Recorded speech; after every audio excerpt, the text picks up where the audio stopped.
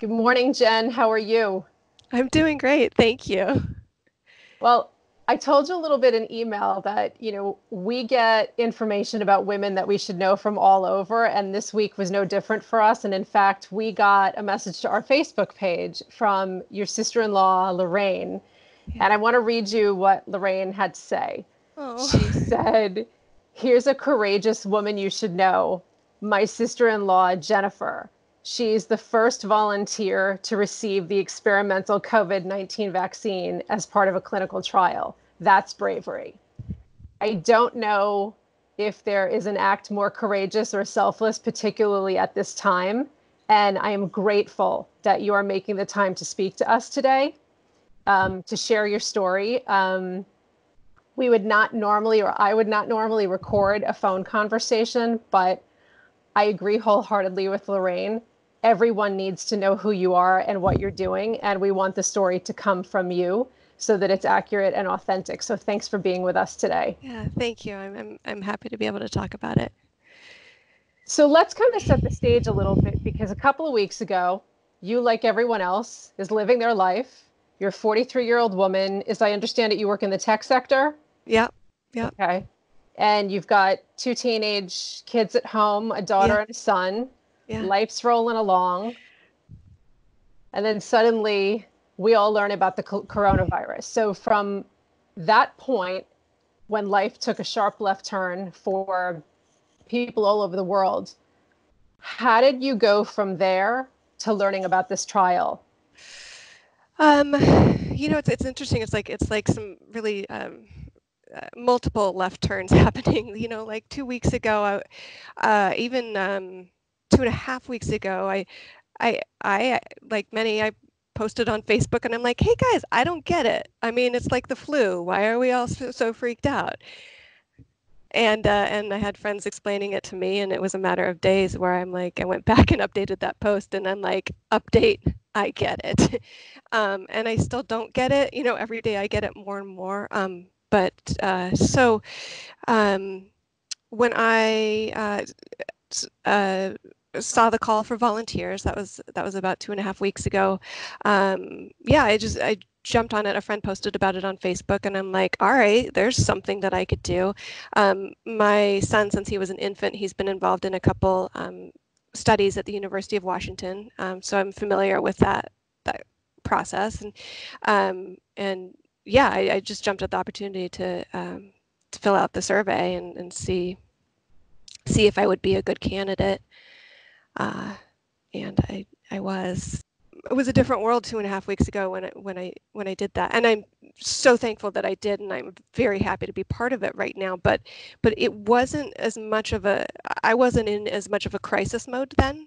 Um, uh, I, was you know I'm I'm always looking for for ways that I can help and opportunities to to help others. So that was a natural uh, thing for me to want to do that. Um, you know, right now, um, if you asked me, do I do I want to participate in a in a, a, a trial vaccine uh, today? If you asked me, I think I, I, don't think I would sign up. Like I'm too. Um, I'm inward. I, I'm. I want to protect myself. I want to protect my family, and and um, I don't know that I would have that I have the would have the capacity to make that decision uh, that I made two and a half weeks ago. Again, I am beyond happy that I did it. Um, it just, you know, it's it's it's different right now. I know it's yeah. different every single day. It's different every single hour. It's different. Yeah. Um, I want to understand also once you applied what was the time frame in terms of you getting that phone call or that email back saying okay jen you've been accepted. We want you to be a part of the the experimental trial with this with this vaccine yeah it was pretty quick. I i uh, filled out the survey i think like on tuesday and it was on thursday that i got a call um, and did a you know 15 minute like a phone screen on on my health history um, everything looked good there. They wanted to confirm that I was able to make all the multiple appointments throughout, you know, the first two months and then throughout the next the next year um, and so they the they invited me to come in the next day um, for a physical exam and, and blood draw and um, everything checked out there it was um, about a, a, week after that that the uh, they confirmed that that I was in the study and invited me to come in on on Monday morning for the for so the first shot. It was this Monday, just five five days ago, that you yeah. got the first shot. So yeah. I'm curious, being in the room, seeing the vial or the needle coming at you, yeah. is anything going through your head at that point? Or are you just like, all right, I'm in it, I committed, let's do it? Yeah, yeah, uh, d- definitely the second. Um, uh, calm, um, you know, committed. I, I uh, you know, just went. I, I wasn't scared. Um, I, um, you know, I, I was just there, and it was I thought of it as getting a flu shot. It, it wasn't, um, you know, I don't know if we, if if I or we kind of turn off um, some of those fears that we should have, being jabbed with a needle that, that contains experimental messenger RNA. Um, I can't I, I can't quite access what what that was, but it it wasn't. Uh, it, I didn't feel scared. I didn't feel um, uh, worried. I, but i can't say that that's because like i'm some super strong person or something. I think it was just a, a normal um, uh, reaction to getting through something. Just so people have context the vaccine that you got does not contain any portion of the live coronavirus, a dead version of the coronavirus. What it is, and I just want to read it so that I actually get it correct, is that they've created the the experimental vaccine is actually a copy of the virus's genetic code with no element of the virus at all that's correct yes that is correct yeah that's okay. my understanding yeah and did yeah. they give you any indication of potential side effects even if it's just a copy of a virus's code like what could possibly happen um you know it was the well i believe i believe that this is the same process that they used for um, MERS and SARS vaccines, um, and so they had some ideas from that. And so what you know, what I read and what I remember them telling me was the usual uh, vaccine risks of of of soreness, you know, at site of injection, fatigue, muscle aches, nausea.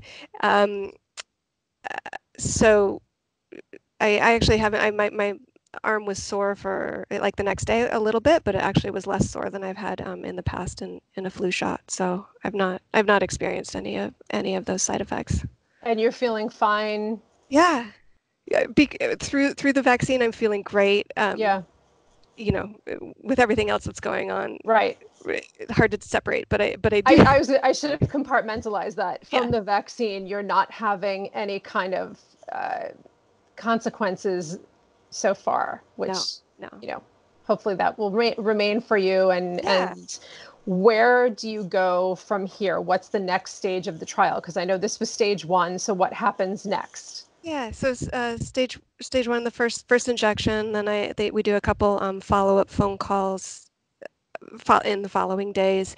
Um, I will go back on Monday, a week after the injection, for um, blood draws, and um, I'll go back another week after that for another round of blood draws. Um, and then four weeks from the original injection, we'll just do it one more time. We'll go for the second, I'll go for the second injection and then uh, the same kind of types of follow-ups for, for uh, a couple weeks after that. Then um, over the next 14 months, I'll have a handful of, of additional visits uh, and blood draws, but not, not too much uh, beyond that, or not anything else beyond that. So there's still, we've still got time on the back end of this now that the the the staging has started.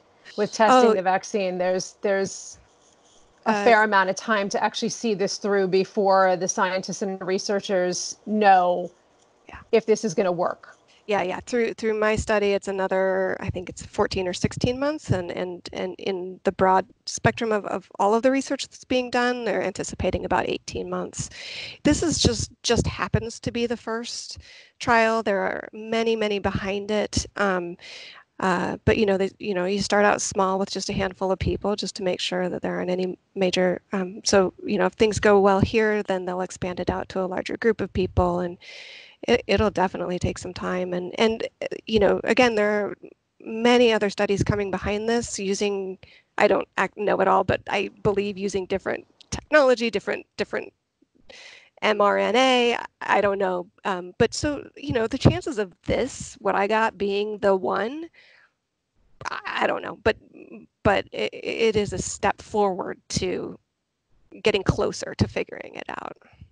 I have to say that I am just awed by your bravery and your selflessness faced with everything else that we're all faced with because where the rest of us are dealing with all the complex layers of what coronavirus is bringing. You, on top of it, are now participating in this experimental trial that adds a whole other layer that none of us can understand. So, how are you handling all of it? I I really uh, am uh, only beginning to understand that and, and and what that means. So I would say you know the first uh, the first three days. What we're on Thursday now. I got the shot on Monday.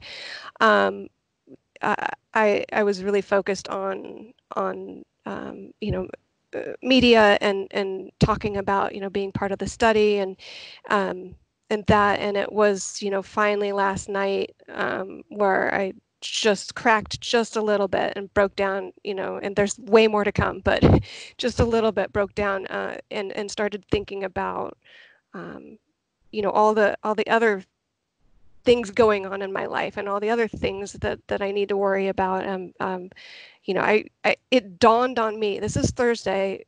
It's dawning on me this morning that my daughter has asthma. Like, I mean, it's kind of a new thing for our family, but like it, it, has been four days of, of crisis, and I and I hadn't even thought about what this means to her until this morning. So that was really um, overwhelming, um, you know, as a mother to to um, realize that that that was not my f- first concern, but um, but that's okay. That's just where I am right now, and and and that's it's it's all going to be a huge process. I just um, this morning I reached out to um, a counselor that I trust. I reached out to a spiritual leader that I that I've trusted in the past, um, and realized that I that I do have an opportunity to um, uh, ask for some some extra some extra help right now, some some extra counseling, um, um some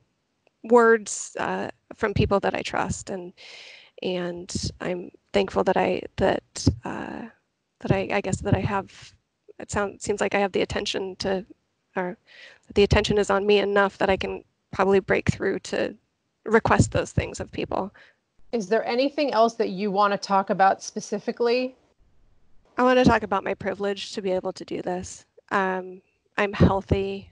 I have friends and family nearby. My kids are older.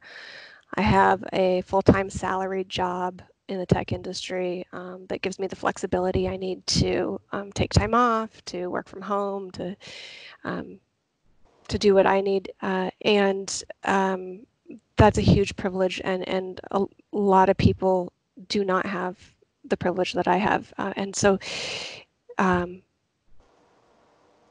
that allows me to to do something risky like this. Um, and I'm happy to do it. But I really want to think about those that that can't do something like this right now.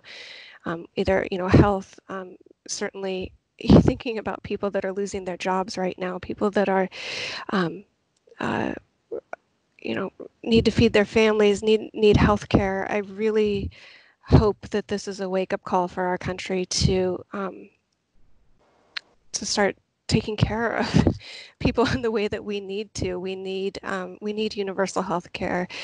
We need paid family um, family time we need paid sick leave. There there are so many things that um, that I'm so hopeful that you know obviously it's going to get a lot worse.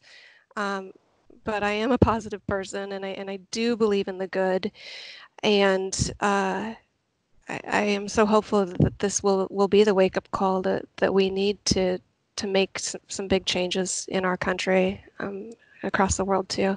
There's a lot of enormity in, in you know in when I think about our situation and how scary that is for me. But I, you know, just to step out of that for a minute and to just imagine what life is like for others who who don't have all these safety nets that that we have. Um, it's overwhelming, and and I and I don't know what to do with that. Um, but you know, in a time of crisis, it is natural for us to go inward to protect ourselves, to protect our family, to, um, hunker down and do that. And and uh, me being involved in this in this vaccine trial uh, uh, allows me to at times to you know stand peek peek outside of, of my world and to um, think about helping others uh, and I and I and I hope that we can all take that uh, you know yes take care of ourselves focus on that but but step out when you can and and think about think about what this means for others and and ways that we can help the reason why I so desperately wanted to speak to you. And I'm so grateful to Lorraine for putting you on our radar, is because we are all living through something unthinkable.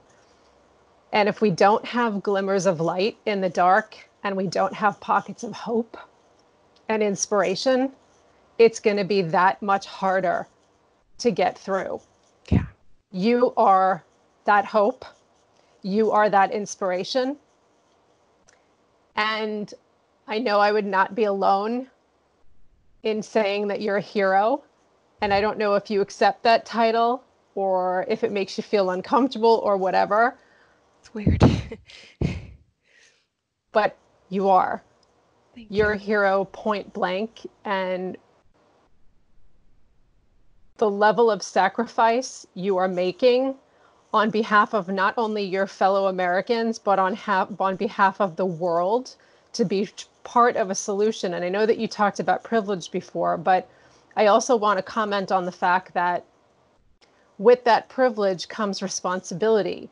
And there are those who take on the responsibility, and there are those who don't for a variety of different reasons. But I want to express my sincere gratitude to you, and I know I am not alone in that in thanking you so very much for stepping outside of yourself and outside of the protection of your family to do this for all of us. Thank you. That means a lot, and and I'm I'm um, absorbing the the enormity of, of of all of this, and thank you. I'm I'm so happy to be able to do that.